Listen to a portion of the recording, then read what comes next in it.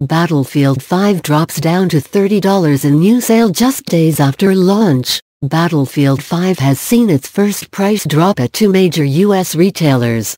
Battlefield 5 doesn't appear to be doing well at retail. This much is clear from looking at the game's first week sales in the UK, but it appears the US didn't fare much better. The Battlefield 5 Standard Edition, which only just released on November 20th, is currently on sale at Best Buy and Target in the US.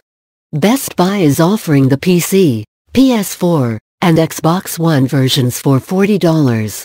The offer is valid only on physical copies, but it's worth noting that the PC version only comes with a code in the box, rather than a disc. It's not clear how long this sale will be available for, but Q members report that their membership discounts stack with the sale offer for an even better price. For the PS4 and Xbox One versions, Buyers will also receive a free Steelbook case with their purchase. The best deal right now, however, is available at Target. The retailer is offering the same version for PS4 and Xbox One at a measly $30.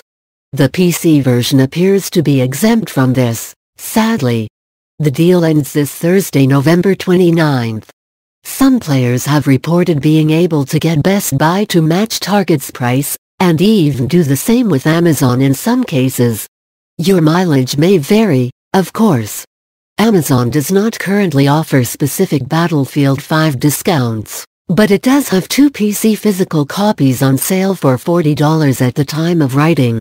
The online retailer may decide to join the party, but this is probably as good as it's going to get as far as prices in 2018, so you best act now if you're looking to jump in. If you do, be sure to give our Battlefield 5 guide a look.